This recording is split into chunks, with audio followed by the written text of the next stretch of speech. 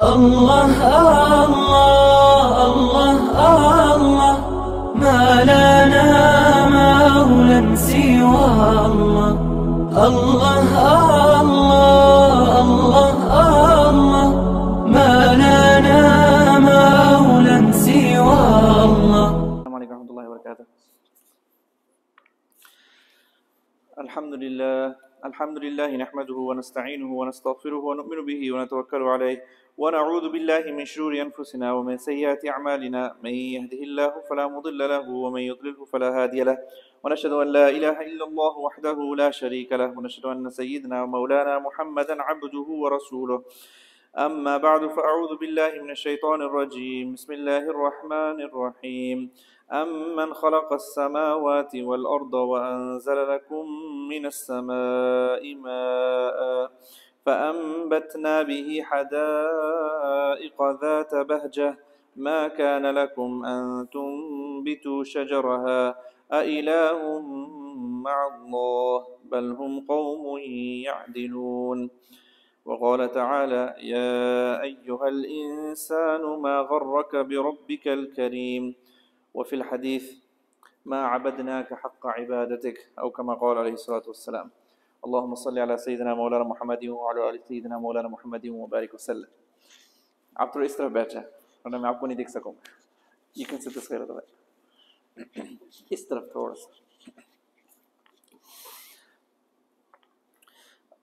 اللهم صل على سيدنا مولانا محمد وعلى آل سيدنا مولانا محمد وبارك وسلم. Alhamdulillah, all praises for Allah subhanahu wa ta'ala, the most gracious, the most merciful. We thank Allah subhanahu wa ta'ala for all his gifts and favors that he's bestowed upon us.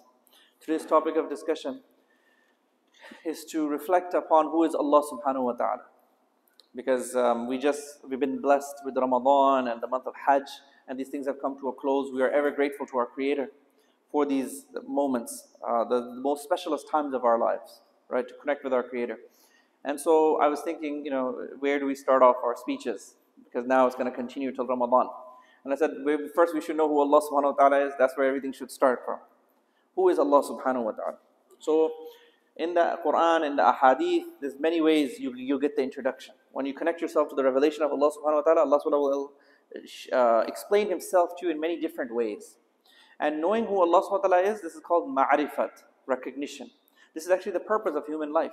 When you read that verse, there's one verse of the Quran. If someone says, What's the purpose of life? You're going to quote, there's one main verse. It says, وَمَا خَلَقْتُ الْجِنَّ وَالْإِنسَ إِلَّا لِيَعْبُدُونَ I didn't create the jinn and the mankind except to worship me. Right? That's the verse. But there's another riwayah, and the Quran has seven riwayahs, different readings of it. There's another reading that says, لِيَعْرِفُونَ I didn't create jinns and human beings except to know me. So and so these two both meanings are considered.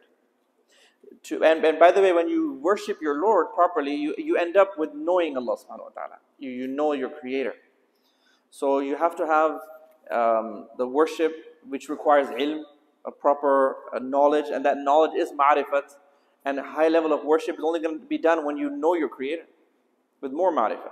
So ma'rifah is something very, very important. It's something that we develop over time through human beings learn it. And the more ma'rifah you have, may Allah subhanahu wa ta'ala grant us the ma'rifah, the recognition of Allah subhanahu wa ta'ala. One of the, uh, Allah subhanahu wa ta'ala says in the Quran, yeah, but human beings, we don't know Allah subhanahu wa ta'ala. One of the reasons why we fall victim to our desires, we, we are not able to obey Allah subhanahu wa ta'ala is you don't know Him. All it boils down to is what? You don't know Him. That's why you don't, that, that's why you can't worship Him. That's why you can't submit to Him. That's why you can't sacrifice for the sake of Allah subhanahu wa ta'ala. So the more you know Him, then the more you will be able to sacrifice. May Allah subhanahu wa ta'ala give us this year, make it, make it a blessed year. It's a year in a way. Our such great times have passed us, and we're still in the great month of Hajj. Um, Allah subhanahu wa ta'ala grant us whatever times that we have left. How many Ramadans and Dhul Hijjahs are we going to see? We don't know. How old is everyone here? Are you 30? If you're 30, you're in the, around there, well, half is left. If half is finished, you got half time left. If that's if you're going to make it till 60. So these, these are very important. And ma'rifah is the purpose of your life. So may Allah ta'ala grant us uh, much of it. So the, the reason a human being can't change his life, he can't be obedient, is because he doesn't have ma'rifah of Allah subhanahu wa ta'ala. Allah subhanahu wa ta'ala says in one verse of the Quran, I'm going to share many ayats with you, many ahadith, and you'll, you'll start to understand this topic a bit more. Recognition of Allah subhanahu wa ta'ala, okay? May Allah subhanahu wa ta'ala make it easy, may, may enable me to say it in a way that's clear, and may Allah subhanahu wa ta'ala enable all of us to understand it. Ya ayyuhal insan, another verse, O mankind, Ma gharraka birabbika. And this is actually Quran is the is a, is a holy book, right? Revelation for us. It's actually it's, it addresses it goes humankind. Oh, humankind. There's no book in the world who addresses because it's not a right. Because this is the Creator and He's speaking to mankind. Oh, mankind, what has deluded you from your noble Lord, your Kareem Lord, your generous Lord? Kareem means generous. Your Lord is so generous, right? He's given you everything. Who has deluded you? And when people become irreligious, when you go away from Allah subhanahu wa ta'ala, right? Go the opposite direction.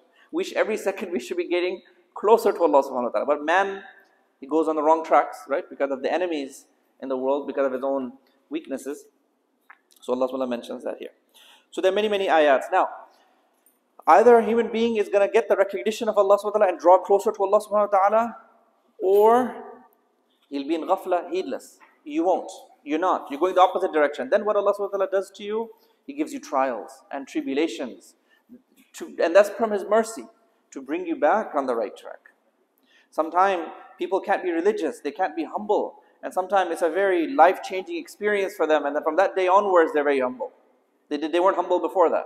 It takes like an accident, it takes like a car accident, it takes like loss of life in order for you to, so, so, so the bells to ring in your head about the, the, the fleeting nature of this world and about the Creator. You start to recognize your Creator. That's what's happening to you. You recognize you. You became religious after that. Whatever it is, every time is a good time to go to. As long as you're alive, it's always a good time. But what's the best time? The best time is when you're younger. Best time is when you are in your more, more youth, the more energy you have. So give your best time to Allah subhanahu wa ta'ala, the more higher rank you'll have on Yawm al-Qiyamah. Make sense? Every time is a good time to go to Allah subhanahu wa ta'ala. But the best time is when you are more younger. Allah subhanahu wa ta'ala give us tawfiq. Allah subhanahu wa ta'ala says, ما يفعل الله بعذابكم What would Allah subhanahu wa ta'ala do by punishing you? Allah subhanahu wa ta'ala says, because you know, he, Allah subhanahu wa ta'ala has more rahmah on His creation, more than the creation. The creation doesn't have rahmah. He surpasses our love for His servant. He goes, what would Allah do by punishing you? In shakartum, only if you could be more grateful. Wa amantum, and bring iman. You have to accept Allah subhanahu wa ta'ala, you have to acknowledge Allah subhanahu wa ta'ala, you have to be obedient to Allah subhanahu wa ta'ala. Allah subhanahu wa ta'ala is very grateful and he's mashkur, he appreciates. Even the tiny thing that you'll do, it counts. It's not going to go anywhere. Very appreciative. And even when you're in ghafla, when you're going opposite direction, you're supposed to be going this way, towards Allah, but you're going this way, Him bringing you back forcefully through the trials and tribulations is also part of His rahmah. So if no ma'rifah, then there'll be force. You'll be forced back. This is from His rahmah. We see um, in the world disabilities, tragedies, right? And sometimes we think, oh, this child is sick, uh, that tragedy happened, so many people died, and our heart goes out to these people, right? But what about Allah subhanahu wa ta'ala? Allah subhanahu wa ta'ala is more merciful. So when you feel the pain and the suffering of someone, a child who's orphaned, um, someone who, right, we, we feel, we'll feel for them. When you make dua, you're like, you're shaking with what has happened before you. But imagine Allah subhanahu wa ta'ala, Allah subhanahu wa ta'ala feels it more. Allah subhanahu wa ta'ala has this um, you know, because He has more rahmah upon us. So it's just we have to recognize Allah subhanahu wa ta'ala through these, um, through, through the ayats, and we have to try to gain some ma'rifah of Allah subhanahu wa ta'ala. He's beyond the usually human beings, we our our shallow understanding of Allah subhanahu wa ta'ala is that we say, Oh, He's the most merciful, most forgiving. That's true. He's the most forgiving, most merciful, but He's much more than all that. Like that's that's like that's like a basic where everybody starts. Go, he's the most merciful. Most, that's true. He is that as well, most merciful and most forgiving. But uh, he's much more than that. So when you read the ayat and you connect yourself to the revelation of Allah subhanahu wa taala, your marifat will grow. You have to spend some time out to know who Allah subhanahu wa taala is. Sit with someone and learn who Allah subhanahu wa ta'ala is. And then that will make it easier for you to obey Allah subhanahu wa ta'ala. That will be easier for you to curb your false desires.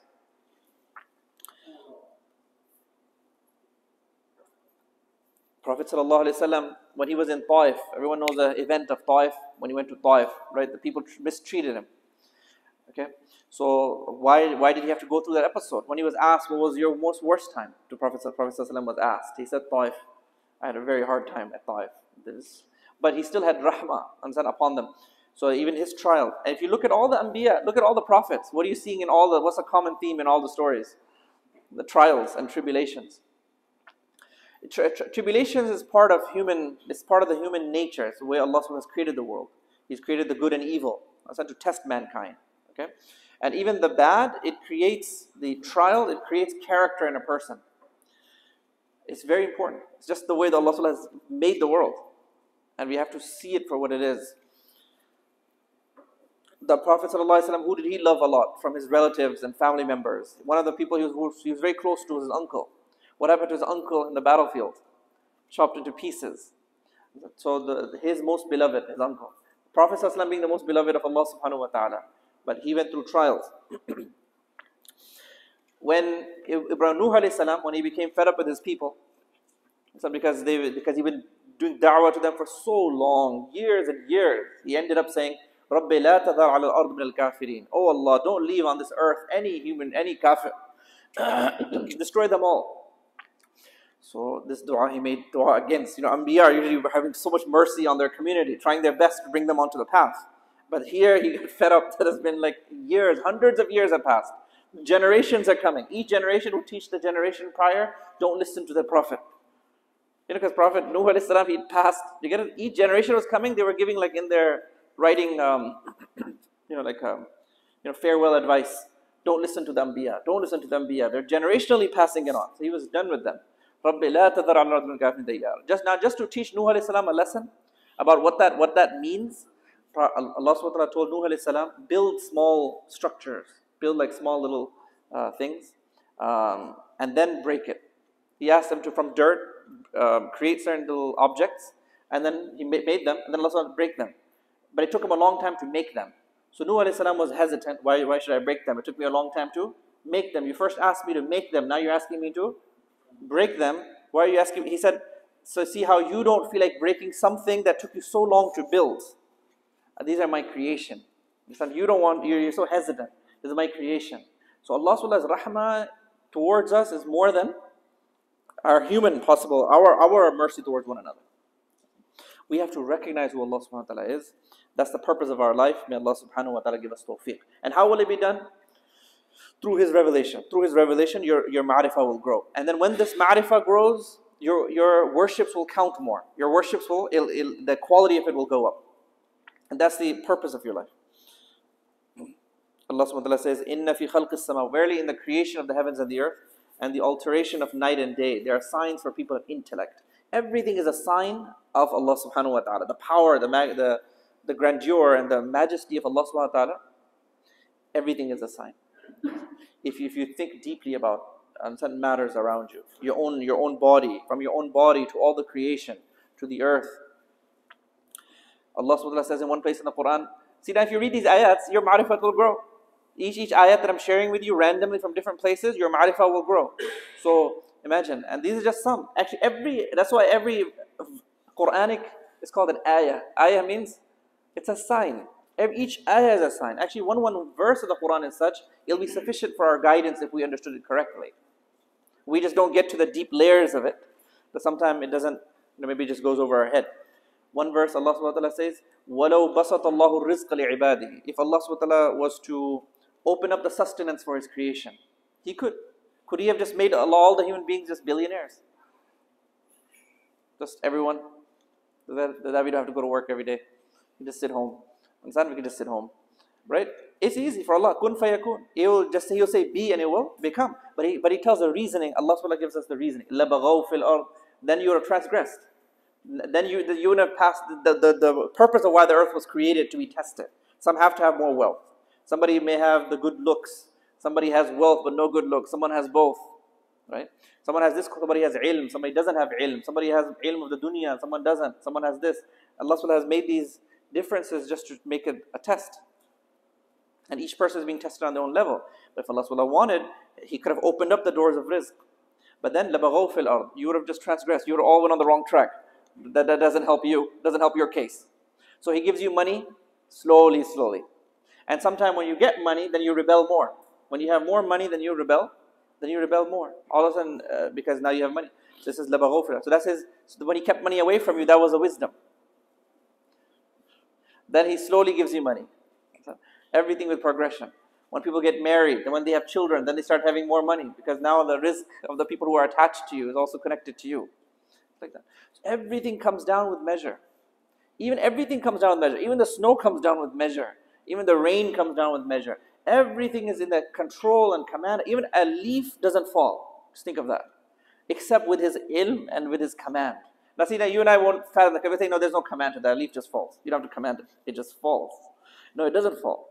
Even that's going with the command of Allah subhanahu wa ta'ala. The gravity when it pulls it down, that is also going with the, the command and the knowledge of Allah subhanahu wa ta'ala. So we have to up our connection with this with the, our, our Allah subhanahu wa ta'ala. This is the purpose of our life. And so we need to do this, and then Allah subhanahu wa ta'ala will make obedience to Him easier for us. Look at the different occupations. What if everyone was in this world and we all wanted to become dentists?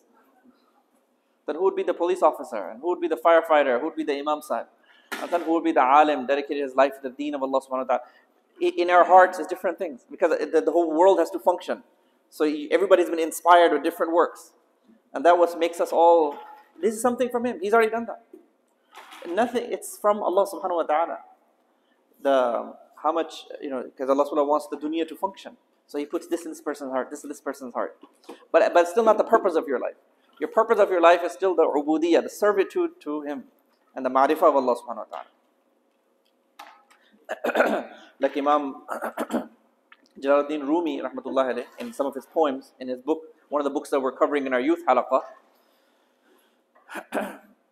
he mentions that, you know, Allah, like human beings have so many qualities. Somebody might be a dentist, somebody might be a doctor, someone has this quality, someone is a businessman, someone has good with his hands, someone's good with his mind, someone knows math, someone does this, right? The world, the way the world functions. But which one is, which quality is Allah subhanahu looking for on the day of judgment? It's not your mathematical skills. It's not how handy you were. It's not how much muscle you had. Which quality is looking? He's looking for just one quality. It's how much you recognized him. That's it. Just that one is the one that's going to please him. So we have to acknowledge that. And this is not a secret. This actually is, it's a mercy from God that this is not a secret in the revelation it's very clear that this is the one we're looking for.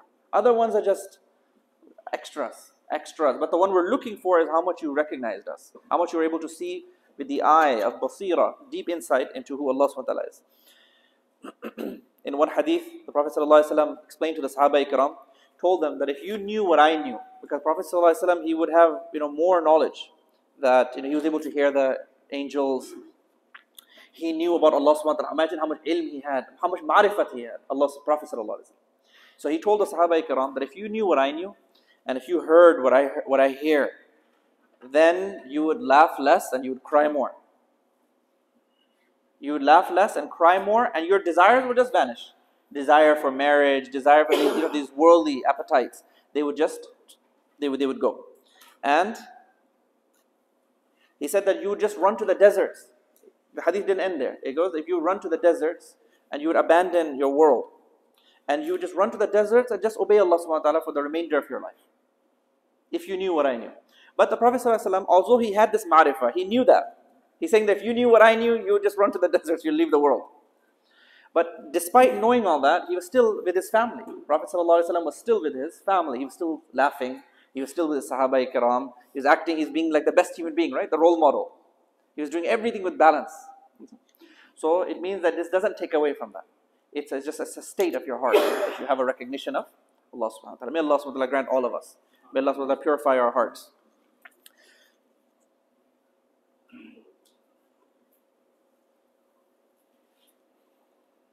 Allah subhanahu wa ta'ala, He created death. Khalaq al-maut. He created death. It says He created death and life. It says death first. He created death and life. And then when someone passes, how, how long can we mourn? Not go to work generally is three days.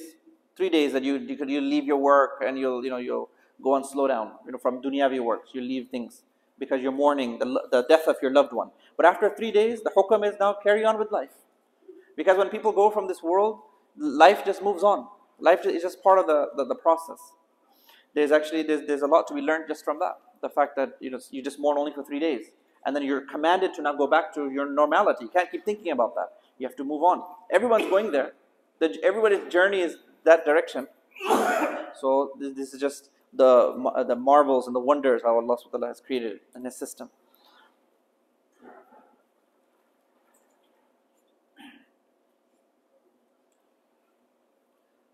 So the lesson to be learned from all these, the reason I'm sharing all these ayats and ahadith is that we should take some time out for this. We should take time out to know who Allah subhanahu wa ta'ala is. Whenever you take time out for Quran and the revelation of Allah subhanahu wa ta'ala, that's really what you're doing. You're learning the fleeting nature of this world and you're learning who the creator is. And this is the most important task. The most important task. And the punishment if someone doesn't, that you're going to leave Allah subhanahu wa ta'ala. You're not going to take time out for this to know who your creator is and what the purpose of your life is. Then the punishment is you'll forget yourself. Allah says if you forget Allah ta'ala, He'll make you forget yourself. Forget yourself means you won't become a purposeful human being. You'll become a human being in this world, but you're not too beneficial for, for anyone.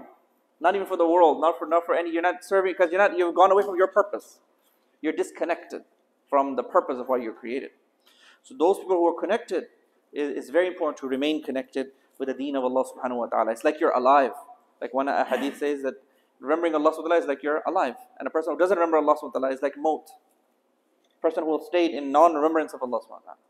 So may Allah subhanahu wa ta'ala protect us from that, being in a state of ghaflat. These days, beautiful days have you know finished Ramadan and the month of Hajj, times of Hajj. So this day is still a sacred um, month. So do more ibadahs in this month before this year comes to a close. May Allah subhanahu wa ta'ala give us more, many more beautiful years. May Allah give us many more beautiful Ramadans, beautiful Hajj. This time, Allah SWT give us tawfiq to avail this opportunity that we have.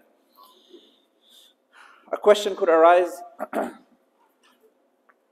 like let's just say there's a child who's sick. A child who's sick, and he went through his illness throughout his life. When he shows up on Yawm al-Qiyamah, will he complain to Allah subhanahu wa ta'ala that I didn't get to enjoy? I was just sick all my life. Will he say that? What's the answer to that question? Will he say that? That person who was sick didn't get to enjoy life. He just remained sick. Then on Yawm al-Qiyamah, will he complain that my life like, like this? No, he will not complain. He will not complain. And the reason he won't complain is because the world is not a, it's not a, it's not our destination. The world is not Darul Qarar, the place of it's just, we're just on a journey here. Real destination is Jannah. He will say, he would be more than happy because he'll go straight to Jannah. Right? Because of his illness. It took him away from the worldly pleasures. And he connected with his creator and he went straight to, he'll be able to go to Jannah very easily because of that. Does that make sense? So in the hereafter, this world, this world will feel like, like a small moment, like a breakfast time, like a lunch time. Small, it will be irrelevant. You won't even think about it in the akhirah. Like, don't really want to discuss it not important at all. Let's just move on. So this is the nature of the dunya. When you connect yourself to the revelation of Allah subhanahu wa ta'ala, you're, you, you, these realities, you, you internalize them. And this is very, very important. For example, also people die, sudden death. Sudden death. If somebody dies sudden death, what's the ruling of that? Is that a shaheed? Sudden death? What about if somebody dies in water? Shaheed? Inshallah, shaheed, yes. So sudden deaths, died in water is shaheed. So people like that, what does the hadith say about shaheed? That the shaheed would want to come back in this world and he, he hopes he can get another, another death like that. It's such a beautiful exit way out from this world. So um, these, these, are the realities um, behind these things. Uh, there's one dua, رَبَّنَا لَا تُزِغْ قُلُوبَنَا Don't deviate our hearts. Don't deviate our hearts. When you don't have recognition of Allah subhanahu wa ta'ala, then these events, you're not able to understand these events. You live, you lead a purposeless life you are going away from Allah. So Allah makes actually, when you go away from dhikr, remembering your creator, He makes life hard on you too. Economically, life will get hard on you. Man a'rada an dhikri, whoever turns away from my dhikr, فَإِنَّ لَهُ مَعِيشَةً ضَنْكَ Then his livelihood will be restricted. وَنَحْشُرُهُ يَوْمَ الْقِيَامَةِ أَعْمَى And then we will resurrect him on يوم القيامة as a blind person. قال, he'll say, رَبِّ لِمَ حَشَرْتَنِي أَعْمَى My Lord, why did you raise me blind? وَقَدْ كُنْتُ بَصِيرًا I used to see. قال كذلك أتتك آياتنا like that our ayats came فنسيتها you forgot them وكذلك اليوم تنسى and so today we, you, you were forgotten so remembering Allah subhanahu wa ta'ala even in our khutbah what's the last sentence I say come on I, I do this every week right we repeat the same ayats the reason we repeat the same ayats in our khutbah those are the, these are the most specialist ayat they're specially selected what's the last one that I say oh come on you know it you're being humble Huh? What is it? What's the last thing I say before I end? No, in my khutbah. In the second khutbah at the end. This is not the Springfield community, your community. وَلَذِكْرُ اللَّهِ تَعَالَى أَكْبَرُ وَأَتَمُّ وَأَجَلُّ akbar. That the remembrance of Allah is the most greatest thing, the most create, the most complete thing, the most majestic thing. That, that, that, that is the real. that's why it ends with that. It's the most powerful, you know, the reality of this world. So the ma'rifah of Allah subhanahu wa ta'ala, the today's I'll, I'll leave you with just one more one more uh, uh, quote. This is by Ali radiallahu ta'ala. Ali radiallahu ta'ala says, you know when you make a plan for something and it doesn't happen? When you make a niyyah, I want this to happen, and then it still doesn't happen. So Ali radiallahu ta'ala will say that when that happens, that's ma'rifat of Allah subhanahu wa ta'ala. Now I know that the creator is at work. I had planned, full plan, I want something and it's readily available to. But Allah subhanahu wa ta'ala doesn't allow me to get that one thing that I really wish to get. That shows me that the one, the one person who's in control of everything, that is Allah subhanahu wa ta'ala. So ma'rifat, these ayahs, these ahadith, once you connect with them, then your ma'rifat grows and then your obedience becomes easy. May Allah subhanahu wa ta'ala give us tawfiq to do amal. Wa akhir da'wana alhamdulillah rabbil alameen. Subhanallah wa bihamdihi subhanallah azim. Nashadu la ilaha illa ant. Nastaghfiruka wa natubu ilayk.